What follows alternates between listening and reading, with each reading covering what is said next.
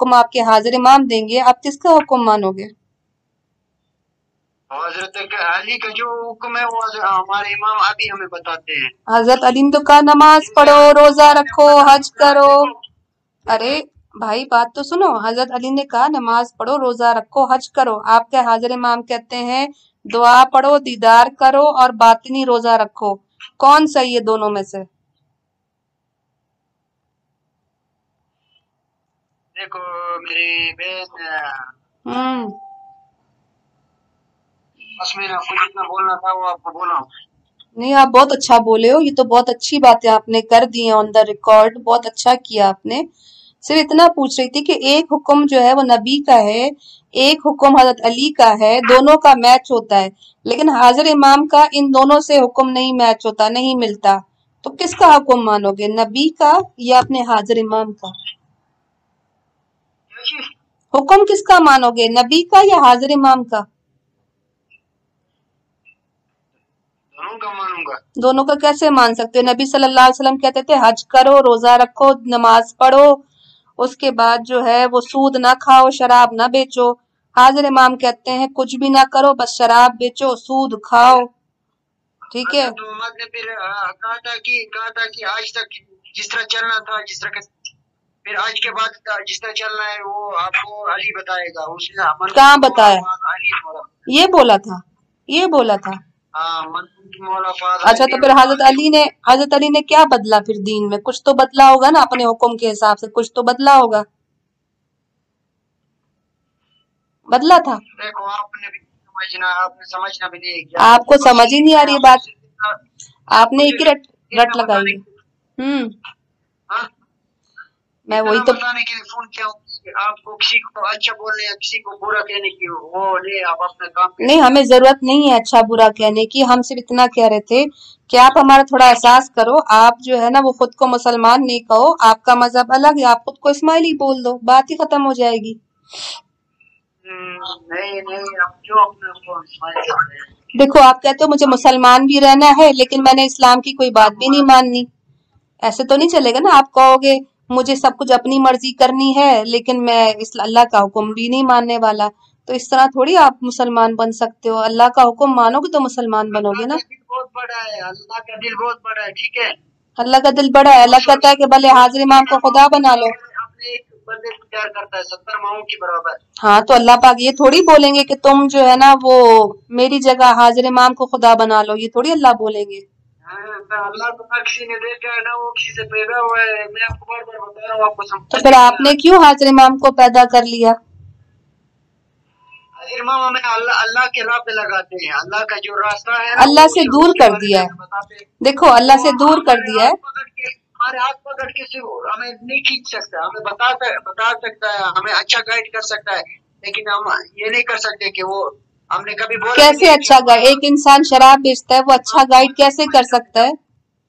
एक इंसान शराब बेच रहा है वो अच्छा कैसे कर सकता है किसी के लिए? वो वो सारा इंसान इतनी के मत तो छोड़ो पूरा दुनिया में कोई काफिर भी है तो उसके लिए भी हमारे इमाम ने अच्छा किया है। देखो आपके हाजिर इमाम शराब सूद और सुअर का गोश्त बेच के उसके पैसों बाकी दुनिया कहाँ से कहाँ जा रहा है? आप शराब तक बैठो आप शराब को पकड़ के बैठो। नहीं नहीं हम तो नहीं पकड़ के बैठे आपके हाजिर इमाम उसका कारोबार कर रहे हैं हम आपको बता रहे हैं। अल्लाह अपना सत्तर माओं के बराबर अपने बंदे से प्यार करता है। ठीक है जो दुनिया में पैदा किया है हाँ लेकिन अल्लाह पाक कहते हैं कि अगर तुमने किसी को किसी के साथ मुझे शरीक किया तो मैं तुम्हें दोजख की सबसे गहरी खाई में डालूँगा और कभी तुम्हें उससे बाहर नहीं निकालूँगा। नहीं बोला अल्लाह ने? नहीं नहीं वो तो अल्लाह ने तो बोला है कि लेकिन हम कभी नहीं बोलते कि हमारा इमाम अल्लाह है। तो फिर फिर या नूर मौलाना शाह करीम अल हुसैन हाजिर इमाम तो कुल जमात का गुनाह माफ़ कर तो वो कैसे माफ़ करते गुनाह? वो हज़रत मोहम्मद के हाथ हाथ थे ना हमारे इमाम के पास जिनके हमारा ज़िंदा अली है इमाम है। अल्लाह हज़रत मोहम्मद ने कभी नहीं बोला कि तुम मुझसे अल्लाह तक- की माफ़ी अल्लाह तक तो पैगाम पहुंचाता ना। हज़रत मोहम्मद ने कभी बोला है कि मुझसे गुनाह माफ़ कराओ कभी आपने फरमान किया है? देखो क्या कहा है कि खुदा को ढूंढे तो वो भी अली के घर से मिले। अली के घर से मिलेगा ना? हाजिर इमाम के घर से थोड़ी मिलेगा? अली अली है ना हमारा सीधा अली अच्छा तो अली तो शराब नहीं बेचते थे आगा खान शराब बेचते ना मसला हराम का हाजिर इमाम सुअर का गोश्त बेचते हैं सूद खाते हैं। है सूद सूद का कारोबार करते हैं। घोड़े पे जो है वो सट्टा सट्टा खेलते हैं गैम्बलिंग करते हैं जुआ खेलते हैं। अच्छा हो बस। बस बस नहीं अभी तो बहुत बातें करने वाली हैं। आप भाग रहे हो इसलिए मैं जरा आहिस्ता आहिस्ता बोल हूँ ताकि आप भाग ना जाओ। मैं काम भागता हूँ। मैं मुझे कुछ भी नहीं पता। मैं सबसे थर्ड क्लास आदमी हूँ मैं आपसे बात करूँ ठीक है मुझे किसी चीज़ का इल्म भी नहीं है। मैं। फिर भी चलो थोड़ा मुझे कुछ भी पता नहीं है। अल्लाह हम्म। मुझे माफ़ करे मुझ कितना गुनाह आ रहा है पता नहीं। देखो भाई सिंपल सी बात है। अगर आप कुरान को अपनी किताब मानते हो आप कलमा पढ़ते हो तो आपको अहकामात भी कुरान के मानने चाहिए ना ना कि किसी इंसान के। हैं।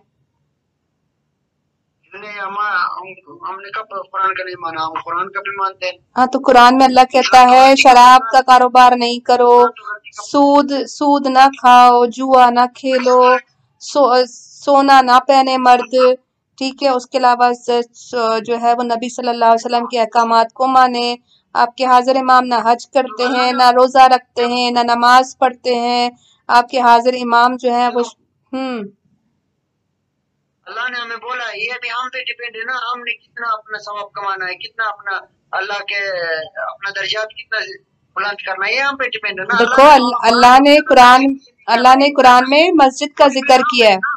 अल्लाह ने कुरान में मस्जिदों का ज़िक्र किया है। आपने जमात खाना बना लिया है जहाँ पे आप नाचते हो गाते हो।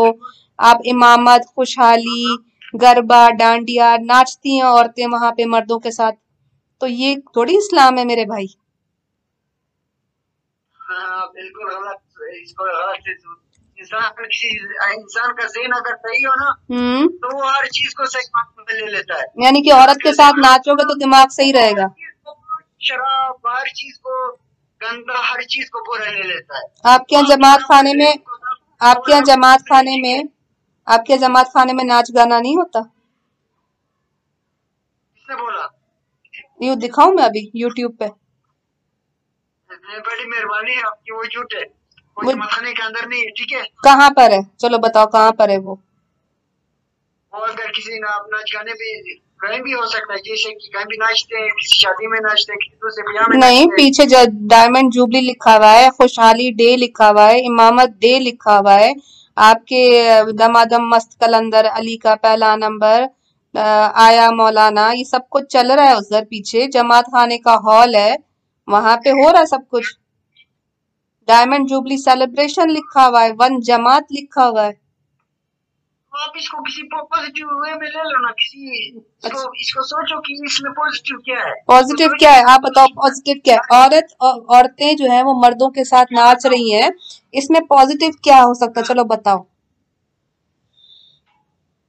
आप खुद इसको सोचो आपका लेवल नहीं है किसको नहीं भाई हमारा तो हराम है ना हम तो उसको सोच भी नहीं सकते आप मुझे बताओ आपके यहाँ जब औरतें मर्दों के साथ जमात खाने के हॉल में नाचती हैं तो इसमें पॉजिटिव क्या हाँ पॉजिटिव क्या चीज़ हो सकती है? रिश्ते हो जाते हैं। रिश्ते हो जाते होंगे लड़कियों के आराम से। यही पॉजिटिव चीज़ नज़र आती है मुझे। हम्म। नहीं। तो क्या पॉजिटिव आप मुझे बताओ ना, क्या पॉजिटिव हो सकता है? और औरत और मर्द साथ नाचे तो पॉजिटिव क्या चीज़ हो सकती है? प्रेगनेंसी टेस्ट पॉजिटिव हो सकता है। ठीक है ये मर्द और मा- आप लोगों ने अपने में बनाया हुआ है। सारे भाई और बहनें देखो एक इंसान का हम्म। एक इंसान का अपने बहन के लिए एक भाई का अपने बहन के लिए जो खुलूस होता है ना वो आपका आपको अभी तक उसका अंदाज़ा नहीं है अच्छा। ठीक है? तो अच्छा फॉर एग्ज़ाम्पल भाई अगर जैसे जमात खाने में दस औरतें हैं और वो इमामत डे पे नाच रही हैं तो वो आपकी बहनें हुई ठीक है?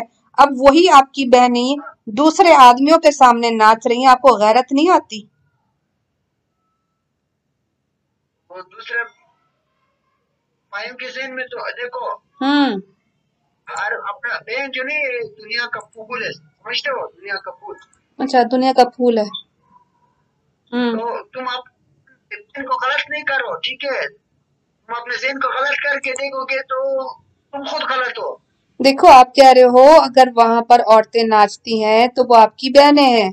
तो आपकी बहनें जो है वो दूसरे इस्माइली भाइयों के सामने नाचती हैं बल्कि उनके साथ नाचती हैं तो आपको गैरत नहीं आती? वो भी इंसान है ना उसके उसको अल्लाह ने अकल दिया वो उसी सेंस से देखता है उसको वो मर्द नहीं होता? कि वो मर्द नहीं होता? वो- वो उनके भी बहन है। अच्छा उनकी भी बहन है तो आप लोग फिर आपस में शादियाँ नहीं करते? नहीं करते? तो जिससे शादी करते हैं वो आपकी ना महरम होती है। वो मेरे वो, वो मेरी बेगम हो गई। बेगम हो गए ना? जिस निकाह से देखना वो क्या लगते रहते हैं? अच्छा उसका अलग तरीका है। यानी कि वो पहले जमात खाने में बहन बन के नाचती है पहले वो बहन बन के नाचती है फिर जमात खाने में आपकी बीवी बन के नाचती है नहीं, आप वो हर चीज़ को नेगेटिव ले रहे हैं। मेरे भाई देखो जमात खाने में दस औरतें नाच रही हैं जमात खाने के हॉल में। आपने कहा वो सारी मेरी बहनें अब उसमें से किसी से आपकी शादी हो गई तो वो इस्माइली होगी ना तो इस्माइली जो औरत जो है जो आपकी बीवी है वो जब जमात खाने में नाचेगी तो वो आपकी बीवी बन के नाचेगी। ठीक है ना? अब आपकी बीवी अब आपकी बीवी दूसरे इस्माइली भाइयों के सामने नाच रही है।